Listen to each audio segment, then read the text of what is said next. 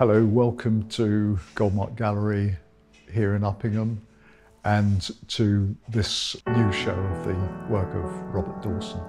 Robert Dawson and his wife Peggy visited back in the early 90s and they came uh, not terribly regularly, maybe two or three times a year. And the strange thing is that The number I've seen coming in through the doors, having been here for 40 plus years, is, is vast. And many of them I remember.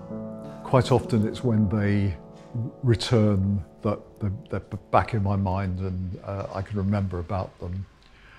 But Robert Dawson stuck in my memory.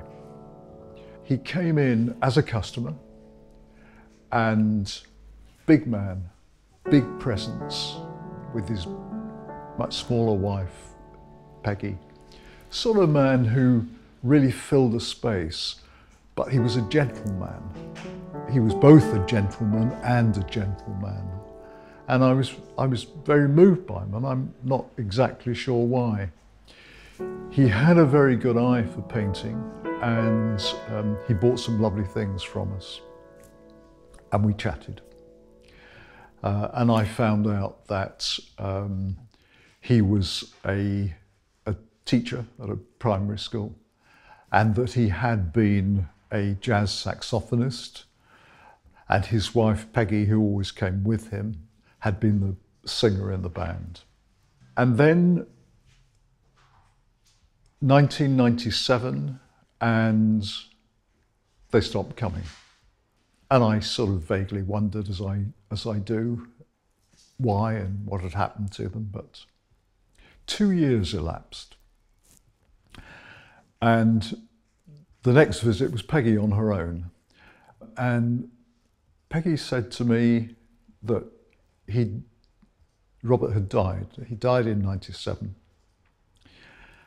And it had taken her two years to compose herself and pluck up the courage to, to come in and, and tell me.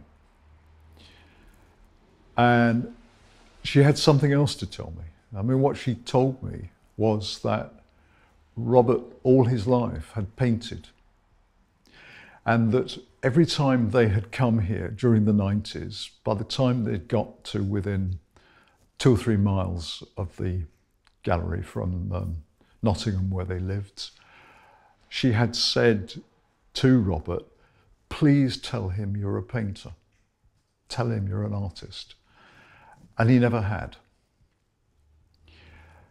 And she had come to tell me this. And would I care to go to the house and have a look? Because it was full of paintings. Indeed, I did. And I was mind blown by what I found. There was scores and scores of wonderful paintings, oil paintings and watercolours and drawings and woodcuts. I showed Brigby Graham, who we were then working with, and we got ready to have a, a show. And I had absolutely no hesitation. And the first show was called Mainly Wales um, which is where Dawson did most of his painting. And I found quite quickly that one of the biggest fans of Robert Dawson was the great Kyffin Williams. We then made a, a film about Robert Dawson and great contributions by Kyffin Williams. Robert had also been interested in, particularly interested in artists, big name artists, and their houses. And he had left drawings and writing about artists. And we published the book Painters and Their Houses in 2007, putting together um, from the drawings and paintings and writing that uh, uh, Robert had left. Also found out at that time that Robert also wrote poetry, and so he was a poet, and he was a musician, and he was a, an artist, and he was a, a, a modest man. In 2018, we published a book on Dawson written by our friend David Whiting. There was also at that time a special edition, special hardback edition, which we made. With the special of the book, you also get this folder comes and there's a copy of the film that we made with Kyffin Williams. Um, and this is music written and composed and played by Robert Dawson. And then in here as well, you get an original sketch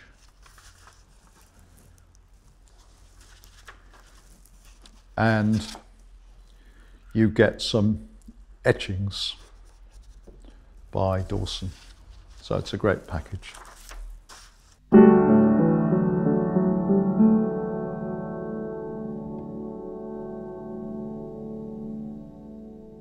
During the last 20 years, we've put on a number of Robert Dawson shows, and his work has been added to many really great UK collections, and it's, it's always a, uh, a great sign when we see that. Having acquired the estate, we're now able to show you some drawings, watercolours, gouaches, and one or two oils which have actually never been seen before. And looking at them on the walls in the gallery now, um, I'm yet again um, astounded at the strength of what Robert did. There's a phenomenal integrity in terms of the way in which he looked at the, at the landscape and a tremendous energy his house was jam packed with art books, and although uh, he wasn't trained, and I find this terribly difficult to believe, um, he must have looked long and long and hard at what the great masters have been doing and learns a huge amount from, from them. So you can view the exhibition online, you can look through the catalogue, or if you can, it will be lovely to see you here in the gallery and look forward to many of you visiting.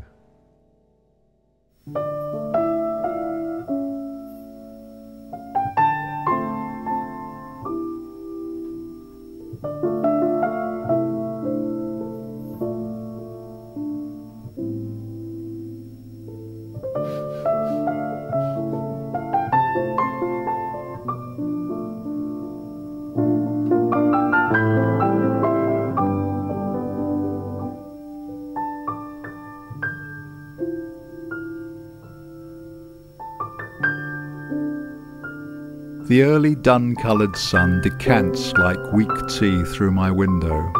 Outside, all is love, like a Madonna's smile. Reality dissolving, slow images resolving on our own bed of pain. All of us, our hopes and fears, are born again.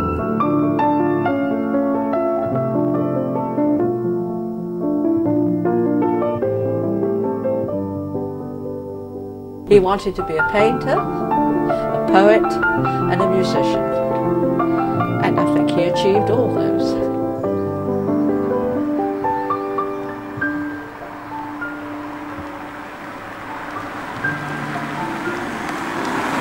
We're going to Grime, to Viv's cottage, and it's a lovely cottage, and we love going there. And it's a lovely drive up. And when Llewellyn was here, Bob used to sometimes walk up to get the cattle out of the way so we could get through. Oh, it's quite a tricky drive. All these sharp bends and rocks sticking out. And here we are, Graig. How about that? We used to stay at Movanby Kitchen's cottage, which was lovely. And uh, Bob did a lot of painting round there at Dolgellau and all round that area. Cadair Idris. But uh, Bob always painted no matter where he was. He just couldn't stop. It was something he did non-stop. There was always a, a pad in the car. He kept a pad in the car that he used. And uh, sketch all day long, and when we got home at night, while I was getting a meal, he would be making them into watercolours.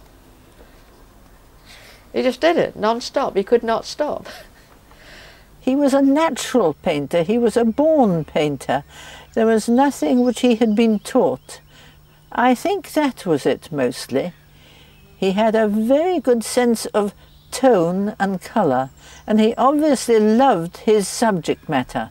Bob did win a scholarship to the Stoke-on-Trent College of Art, but as he was a sickly child, his mother thought he might be sick on the bus, even though he was about 17 at the time, so he didn't go.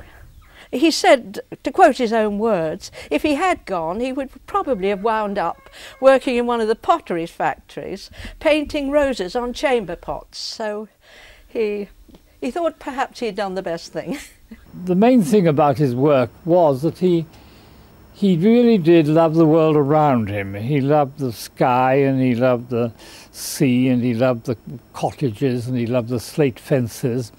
And that was dominant. That is totally different to what goes on today. Because in the past, the subject very much dominated the picture. And Bob was a man who loved the subject. And he put it down with tremendous humility. And I don't think he was ever really very pleased with what he painted. I have a feeling he painted it, he had to get it off his mind, but he didn't say, that's jolly good, I like that. He wasn't that sort of person. He was uh, a painter of great sensitivity, although his physical onslaught of paint onto the canvas was pretty vigorous. But there was a great sensitivity within that. And I think a lot of his pictures uh, when you actually view the site, are a distillation, rather like Cezanne, of what uh, one actually sees.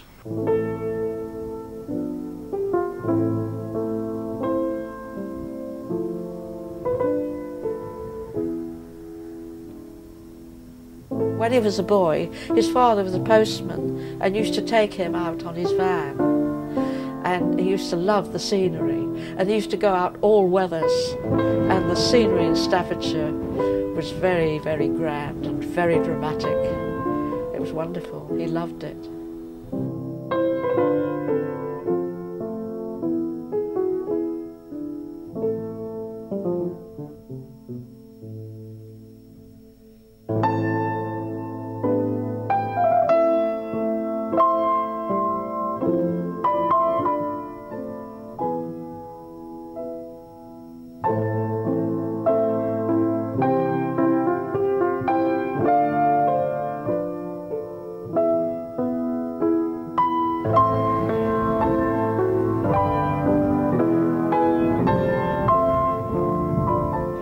Godlike and slow I move among my paints. The shapes with which I lately strove mock me from the canvas. A serenity to match the mood of nature's theme evades my colour. Such unholiness of form, violent perplexity of hue, bespeak of barrenness within. The soul, too, you see, has its October days. His pictures are sensuous, they're romantic. He loves dark skies and shafts of bright light and things. They're very much part of him, I think. Uh, certainly the handling of the paint, I'm sure. He, he, he being a generous person, he did use rich paint. He loved the quality of rich paint. It's a very interesting thing, I think, about the quality of paint. You can usually tell the character of an artist by his paint. He would take unusual grounds to the painting and try things which suddenly brilliant purples beneath slate quarry paintings, which actually were almost monochromatic when he finished them. But if you looked very carefully, and you can see it on this one, if you come just into this piece, there's quite a strong red in between the greys, and that's the underpainting. The underpainting occurs and occasionally shows through between slabs of paint, and that's very much a Bob trait. If you were out to forge a Bob Dawson, you'd need to understand the underpainting that went on. And the underpainting, even in these earlier pictures, which appear quite dark, uh, have very brilliant colours beneath them. The colour was always good. I don't think you could ever fail his colour. When you went to a room and there was a painting by Bob, the first thing you would not say is what lovely colour. His colour was right. He had uh, a natural sense of tone and of colour and of drawing. And those are the things which made his work so good, both in his sketches, his watercolour, and in his oil painting. Well, this particular painting is uh, at Lask Edge, which is in the Cheshire Staffordshire borders, and it's a high edge of rock um, with large protrusions of rock through it. It was an area which Bob thought was almost Welsh in its qualities, and it's an area which has tremendous uh, weather changes, and this drama of of the weather is very typical. And anyone who lives or knows this area would say, yes, that's the sky at Lask Edge. And throughout the area, there are stone walls. And this is a, an area which other painters like Jack Simcock, Arthur Berry, and other Staffordshire artists painted. Uh, this area um, is always uh, a dramatic skyscape. And the optimism in these later paintings, and, and you can usually tell when Bob has moved on a little bit because the signature, this one is the midstream signature, which has the full name in red. And then as we go from this period to a more optimistic period, it becomes RD and a strong, bright accent within pictures with jewel like qualities of colour. He'd find a window or a doorway and put a jewel like colour in these cerulean blues and brilliant cobalts. As soon as he found the elements in a landscape, these hard, strong shapes of cottages, uh, he was happy. And so I think once he went to Wales, um, that, that gave him great pleasure. You know, the, the slate uh, walls, uh, a very uncompromising landscape. He seemed to be attracted to landscapes required great human um, ingenuity to survive in. I think it was a certain simplicity about Wales. The Welsh cottage was not something which showed off. He never showed off. And I think he liked things which were absolutely basic and natural. And all the little lanes he painted and roads and stone walls and things, they were all uh, created naturally, not for effect. He loved the grandeur of it, I suppose. He loved the, the colours. He, he painted in quite a limited palette at times. He loved them. He just loved the, the scenery. It wasn't unlike Staffordshire, really. This painting um, has this brilliant glow within it and uh, aspects of paint which out of context look strange, but once they're placed within, the warm glow is to the activity, the cattle, warmth, the farmhouse. And he's very subtle in linking a colour here, the farm door, relates, and his paintings very often have complex relationships between one area and another, which to the casual observer are not always obvious. Bob was not an obvious painter. He painted strong subject matter, but with lots of subtle and uh, interesting nuances.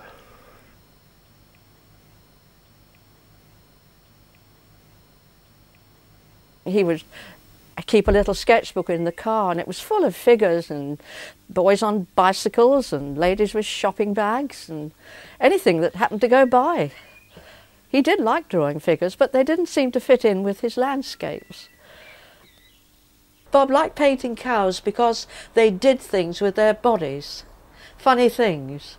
They twist their bodies. If you watch cows, you'll see they're doing weird things. He didn't like sheep because they were just bundles of fur.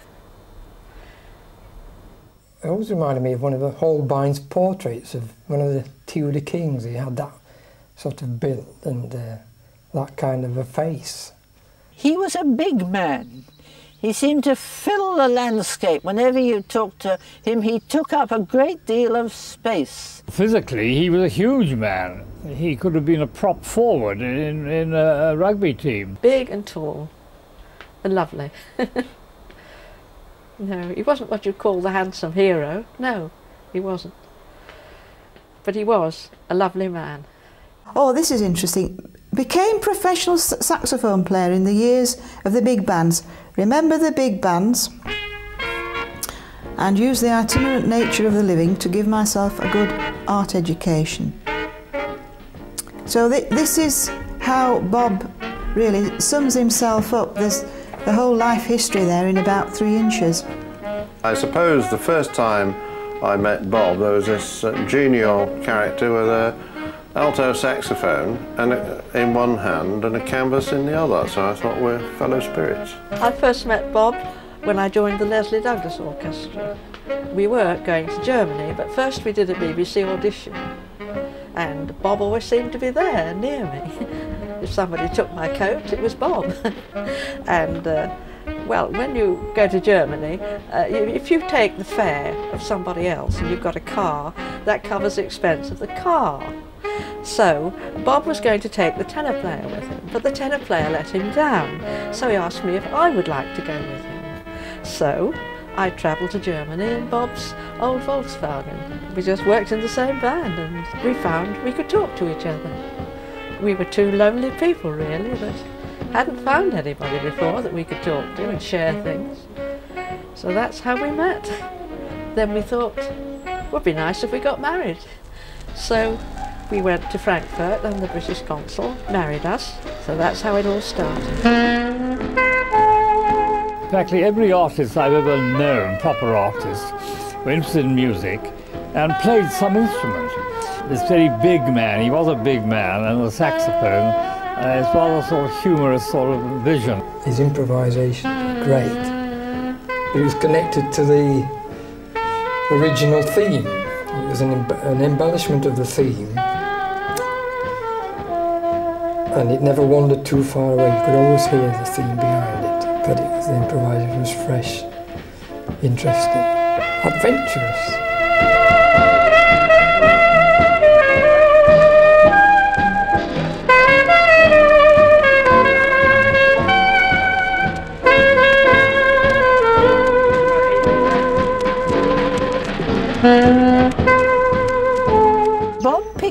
This saxophone that he'd never seen in his life before and played.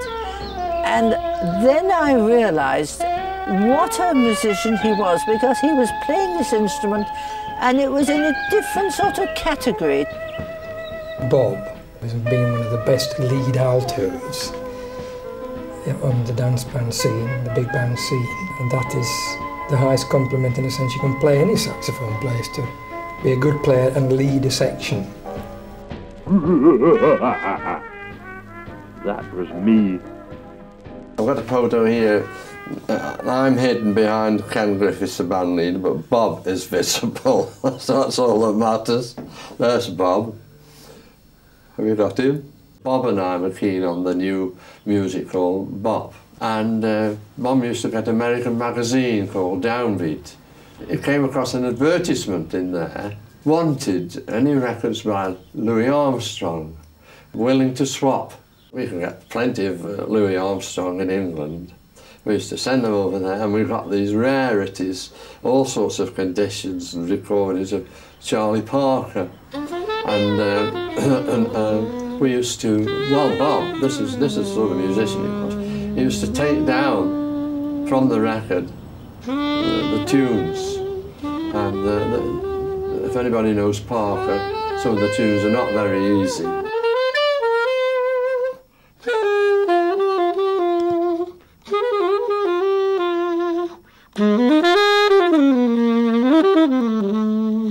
and if could play them, and if could play them. Uh, well, we both played them, but uh, the solos Bob played better than mine, and were in the Bop idiom, which in that they hadn't heard of it in, in, in the potteries. so these two hicks from the sticks in Leek were playing music which was, which was current in America at the time. I was very surprised when he gave up music actually. To this day, I don't know really why, he's perhaps looking ahead, but I know he um, liked children, but I definitely thought it was a, a, nearly a sin that he didn't continue with his music. It, it always made me sad.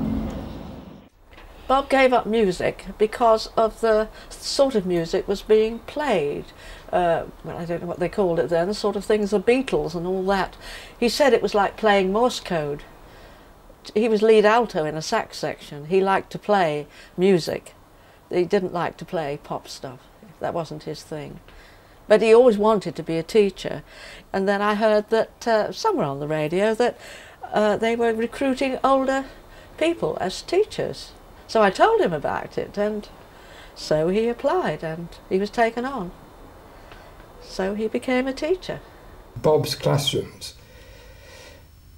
it was just like opening a gate into a beautiful garden. The walls were plastered with fresh, childlike things, you know, just done with great enthusiasm.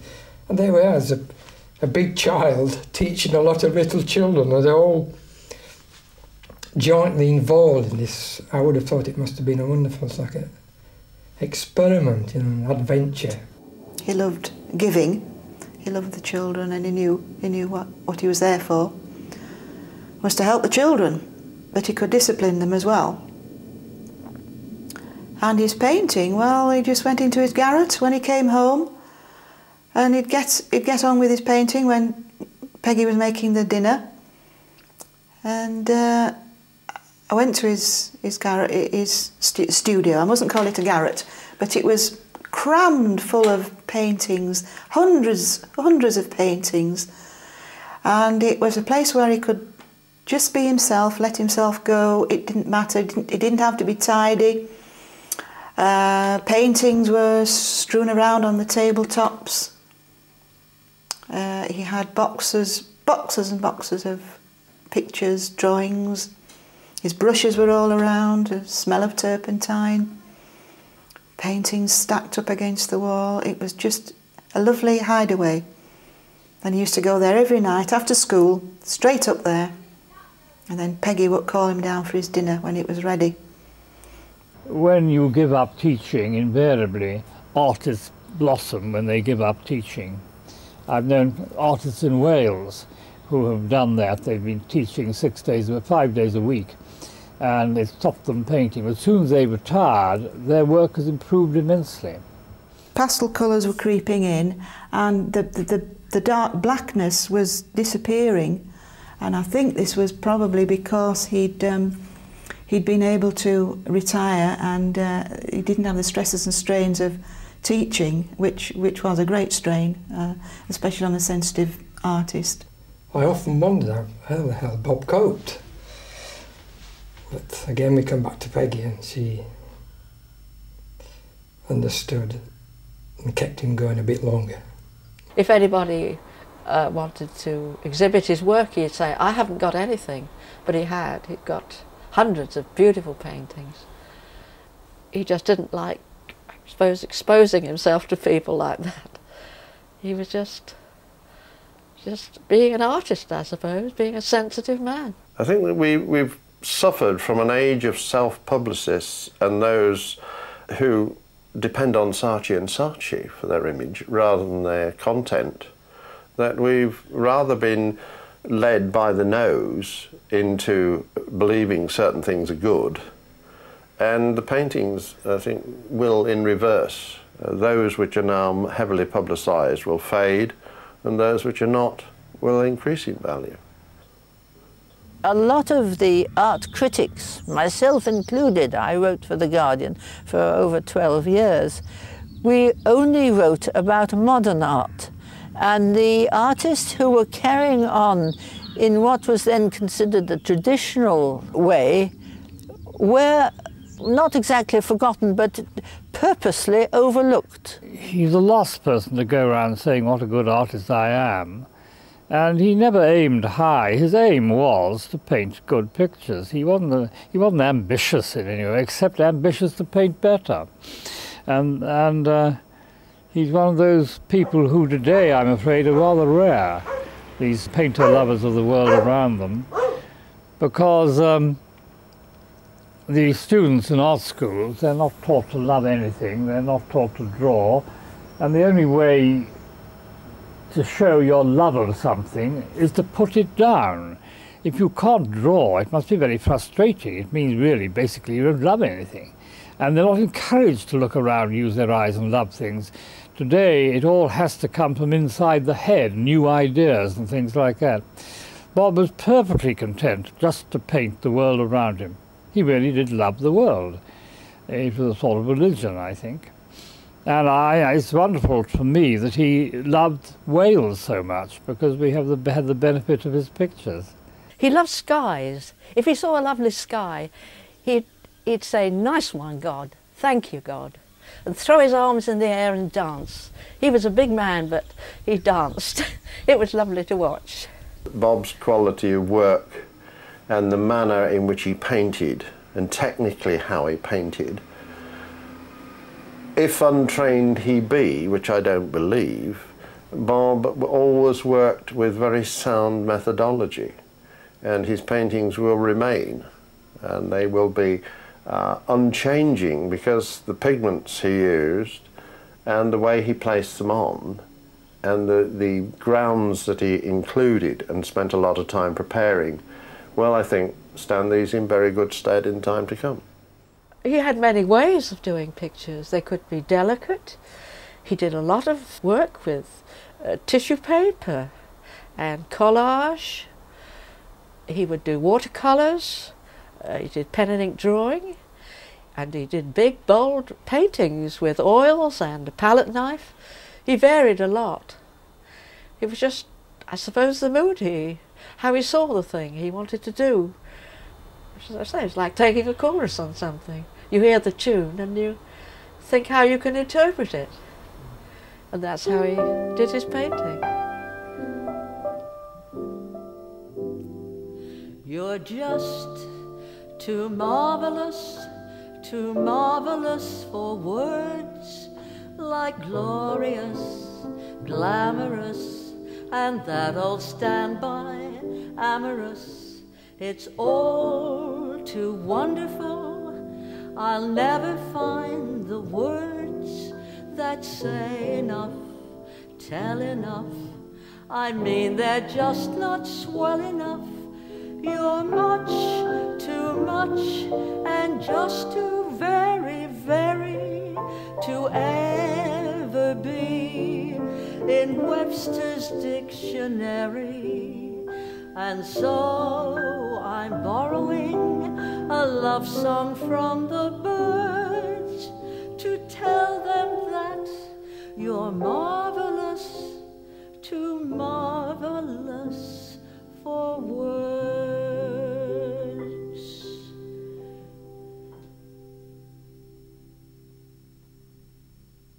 In case all the power and the painful warning leave me again, I must paint quickly.